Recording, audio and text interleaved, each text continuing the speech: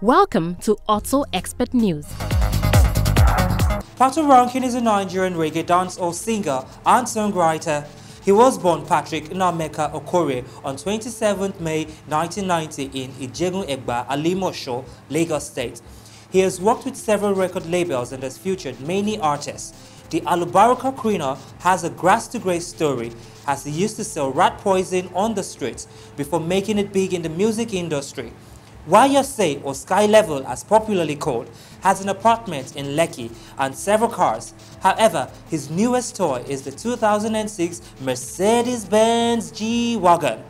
In the just concluded The Voice Nigeria, where he is one of the coaches, he made reference to his new acquisition by saying, Timmy and others only remember me as a rat poison seller, but never mention the fact that I just acquired a new G-Wagon 2016. This new set of wheels cost a whooping $121,000, which is approximately 44 million naira. Wow, this guy is really making it big in this industry. Please log on to our Facebook page at AutoXpat Pro and you can post your comments and questions there. Also, you can contact us on Twitter at Auto Expert Pro. Also, you can email us, share your thoughts with us at Video Entertainment at yahoo.com and AutoXpat Pro at gmail.com. Have a fabulous day, guys, and live big, people.